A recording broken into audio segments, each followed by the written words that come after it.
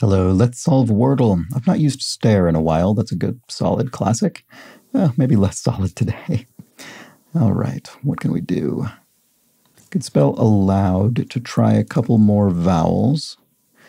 Wow, oof, terrible. Mm, cash could work. I don't really want to replace the, repeat the C though. Um, maybe I'll just do it. I, I'm having trouble thinking of it. Oh, okay. Actually, okay, that's fine. I'll, I'll take it, I suppose. Still not much to go on, though.